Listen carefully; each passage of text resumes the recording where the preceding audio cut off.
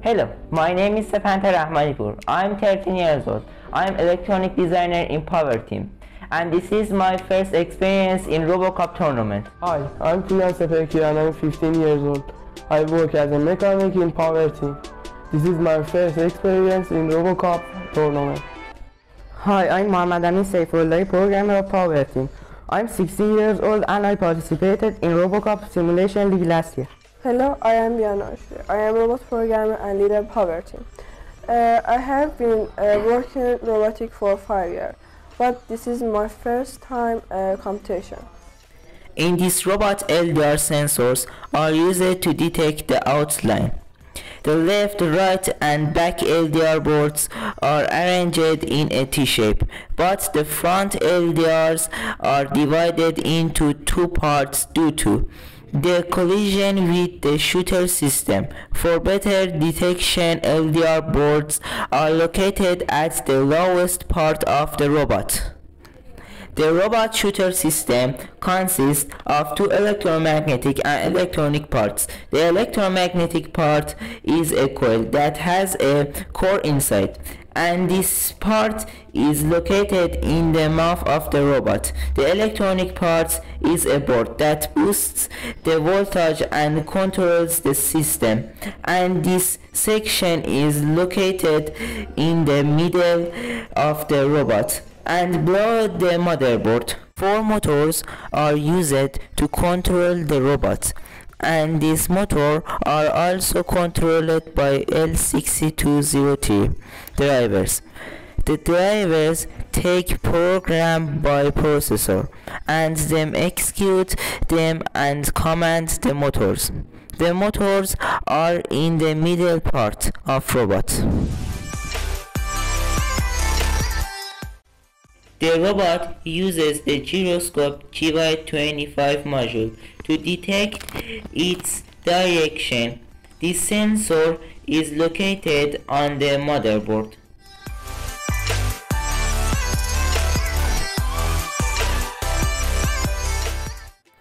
The processor of the robot is Arduino which is a powerful processor with ARM architecture and is installed on the motherboard.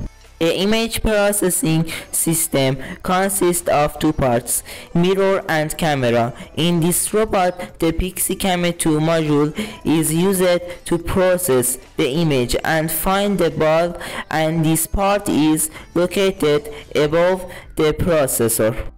The mirror is located at the highest point of the robot. In this technical challenge, we use sharp distance sensors to detect the position of the robot. First, when the robot is at the rear, the robot saves the initial position west or east by comparing the distance from the walls. While the ball is not in the robot's range of vision, the robot moves to the opposite side of the initial position by moving crookedly. If the robot approached the opposite side wall and didn't see the ball, moves forward to check the next point. When the robot sees the ball, the robot goes to the back of the ball and the ball is placed in the ball capturing zone.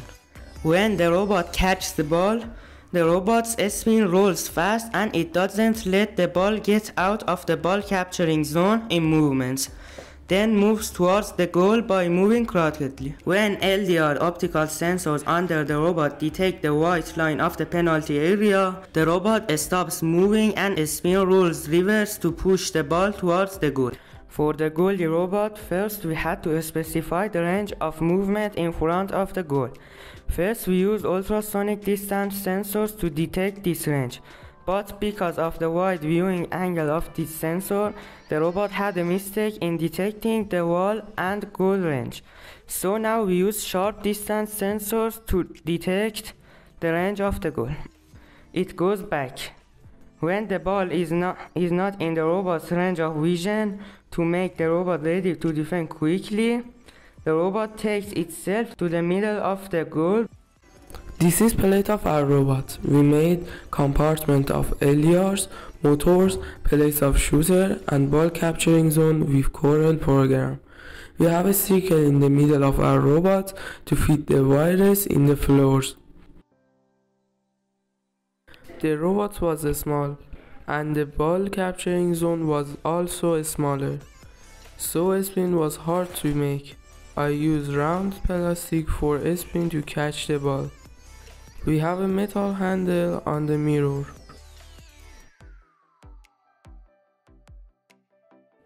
I placed the sharp sensor around the Pixy so that Pixy doesn't see them.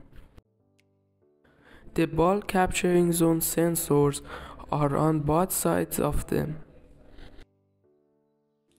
The motors are 2v2 in front of each other. The battery compartment is between the handle and the mirror.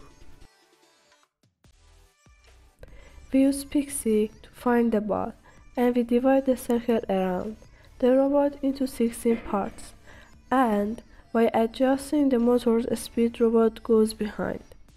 The ball when robot catch the ball and the ball capturing zone detected. We turn on the spin and we detect goal ball increase the speed of the motors and move toward the opponent's goal, we use LDRs and sharp sensors to detect goalkeeper area and playing field. When robot detects goalkeeper area, we stop the robot and the shoot.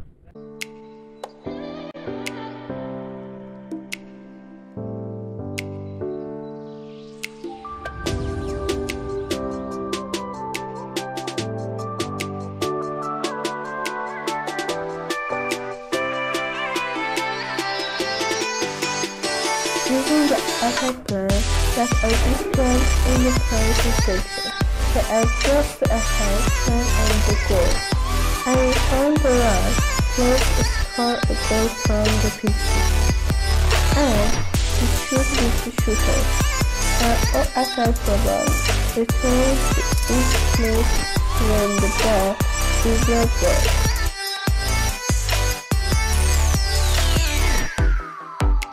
I use PixyMon to test Pixy, and we test the ball capturing zone sensor with serial monitor. We were checking the LDRs one by one, and we checked them with a multimeter. I use serial monitor for sharp, spinning shooter, and gyro. For testing, we use Bluetooth to connect to robots, but we had a lot of trouble finding the location of the ball and uh,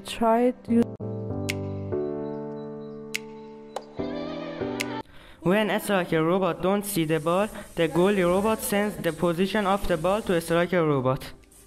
When the ball is in the right of goalie robot, that sends character R to a striker robot. And when the, the ball is in the in the left of goalie robot, that sends character L. And when the and when the ball is front of the goalie robot, that sends character M. And when both robots don't see the ball, the striker robot goes back.